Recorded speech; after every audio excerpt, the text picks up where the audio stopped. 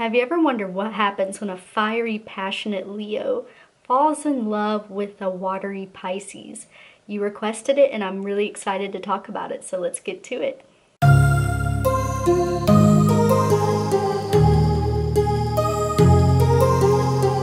Hi everyone, welcome back to my channel. This is Mina. If you don't know me, I'm Mina. I'm a professional astrologer and I love sharing my knowledge with you guys. So if you haven't subscribed to my channel, subscribe. Join us for our weekly astrological conversations that I have with you guys. And please give a like on this video, especially on my love compatibility videos. It tells the algorithm that you like this type of content and I love doing it for you. So it's a win-win situation. Thank you in advance. Remember, this is a pure energy reading. So if I say something that doesn't resonate, go do your homework. Figure out why it doesn't resonate with you and your synastry chart.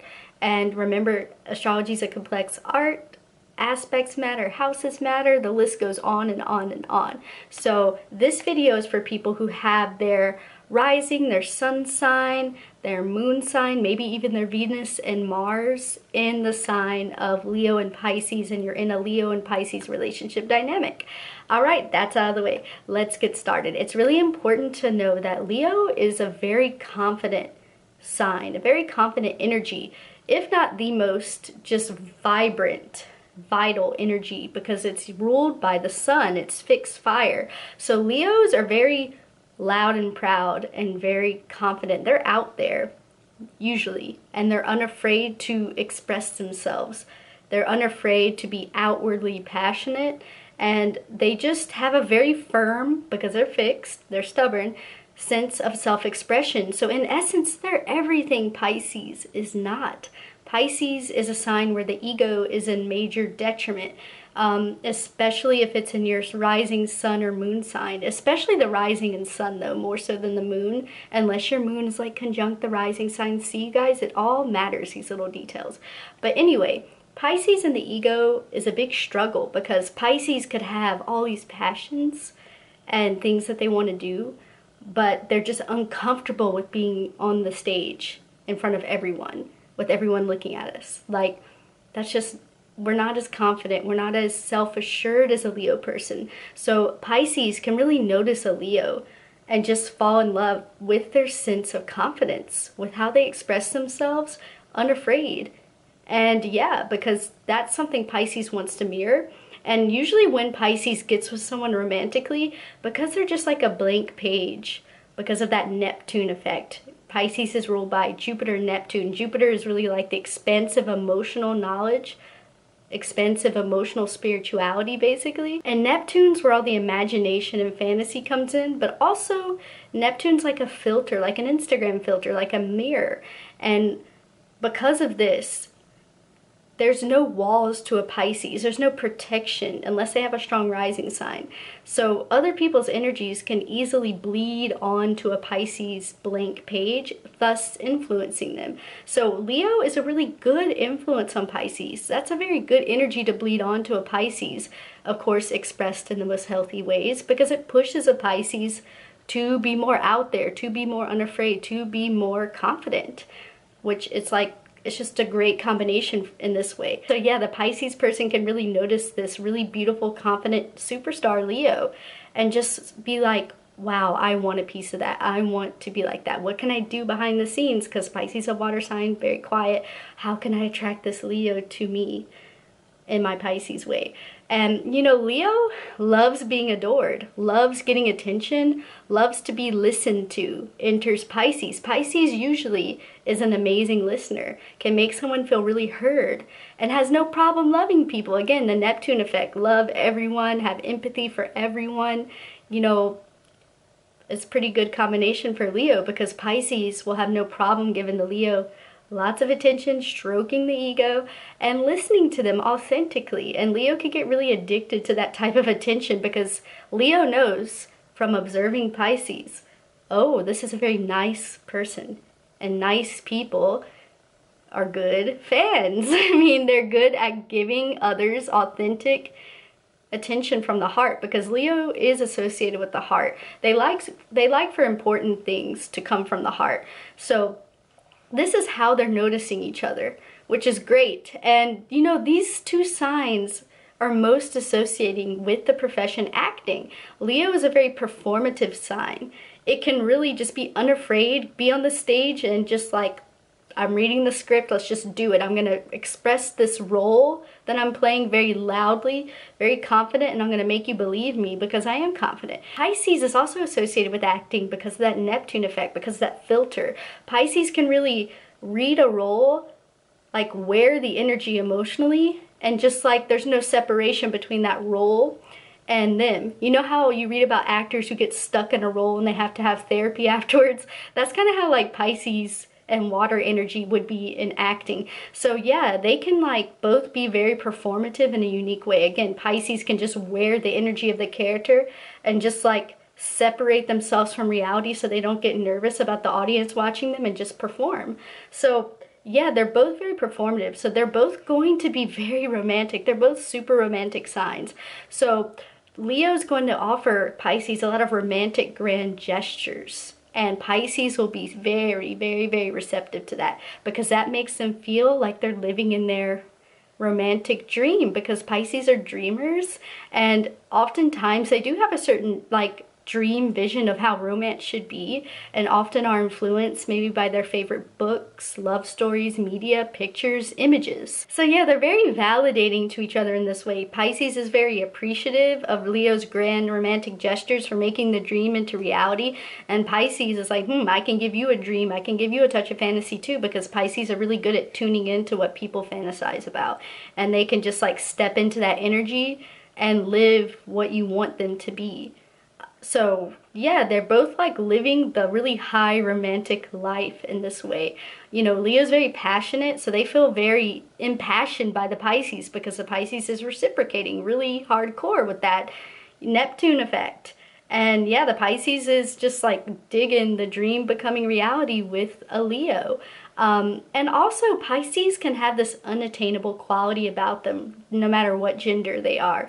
And leo loves like proving themselves, loves saying, hmm, you think I can't get you? I'm to get you. Because they're fire and they're fixed. So once their passions are set on you, they're to get you. They're to do whatever they can. Even if they don't get you, they're to be able to say, I did everything I could. And the more unavailable you are sometimes, the more that excites a Leo because they're just like, hmm, I'm to win that shiny Pisces prize. You just watch me.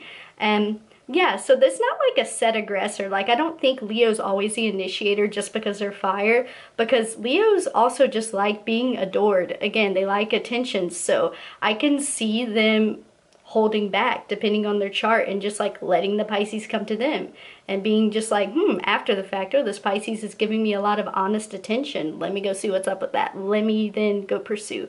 And also Pisces could be the initiator, Pisces could, again, like I said in the beginning, observe the Leo and how passionate, how confident they are, and just be drawn in by that, and then just be like subtly putting themselves on the radar.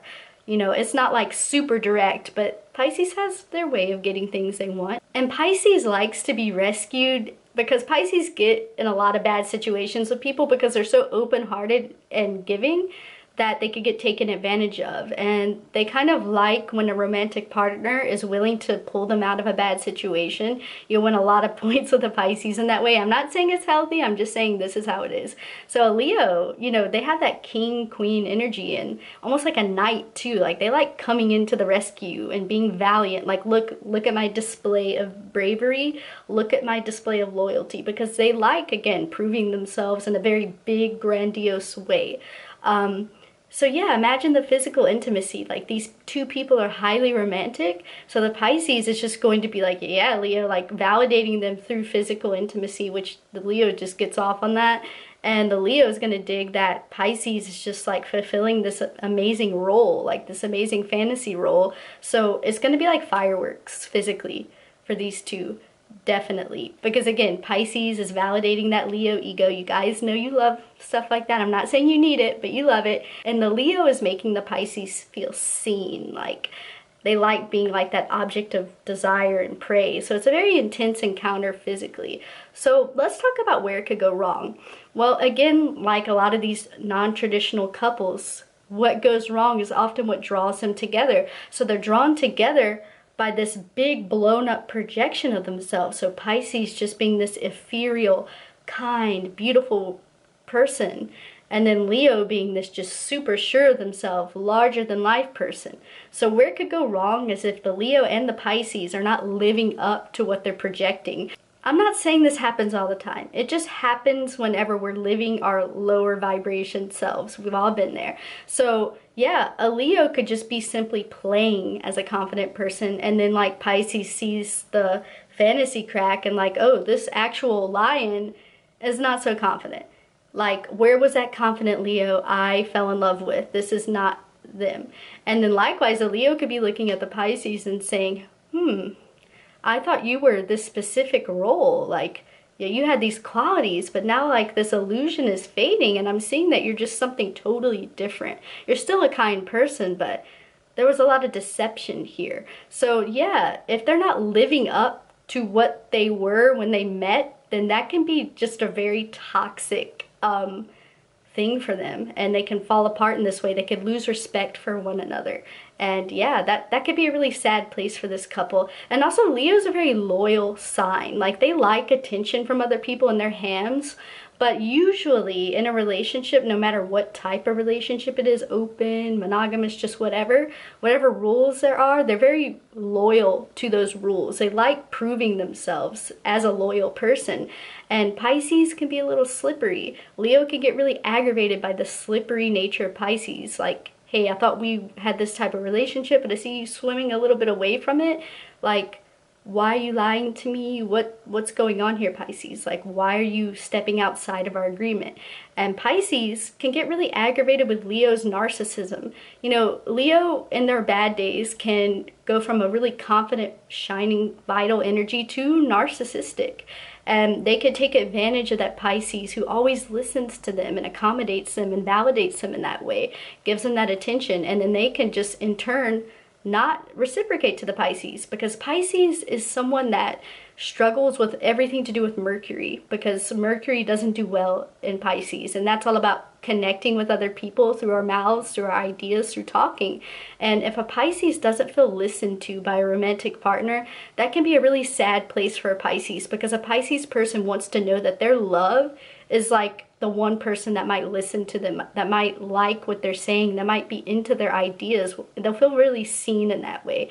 And sometimes Leo can get carried away by a good listener and not reciprocate, not ask them questions back, not be, you know, curious about the other person's life. Even if they love them, they could just be caught up in that cycle sometimes. And this can make Pisces feel like, oh, Leo, you're just so selfish. You know, you're so narcissistic. Like, why don't you care about asking me stuff? Why don't you care about reciprocating to me like I do to you. So again, this can be another point of tension here. And also Leo could just be tired of rescuing Pisces over and over again.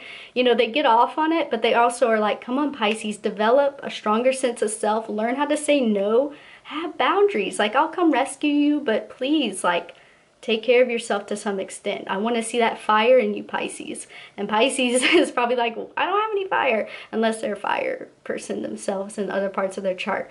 So yeah, Leo can just get exhausted from that because they're fixed fire, but they also like to continually feel impassioned by something. And Pisces, with all their water, can just like put out that Leo fire sometimes when they just have such a weak sense of self and just get taken advantage of. It could just make the Leo feel like, ugh, like, I can't do this anymore. It's just too much. I can't keep on rescuing this Pisces. I'm exhausted, I'm depleted, my fire is gone. So yeah, there's a lot of unique issues here. Also, I think Leo is a little bit tied to reality than Pisces. You know, Pisces really struggles with day-to-day -day, um, responsible life, and this can annoy the Leo. I think the key here to make a Leo-Pisces dynamic work is honesty. Like, yes, be a beautiful projection, but also have moments of realness. Like, don't make the projection bigger than yourself because yeah then you won't be able to live up to it pisces and leo people. And then you'll be with a stranger. There will be nothing authentic about your connection which is really sad because this is a very passionate hot connection you could have with each other. So keeping it real will really help. And also just freely giving from the heart realizing that when you support your Pisces, Leo, that they don't have that Leo superstar sense of self that you do. And being able to empathize with that And Pisces, not taking your Leo, you know, for granted when they are rescuing you. Like, not only appreciate them, but learn to have that stronger sense of self. Like, please let their energy inspire and bleed onto you and learn from it.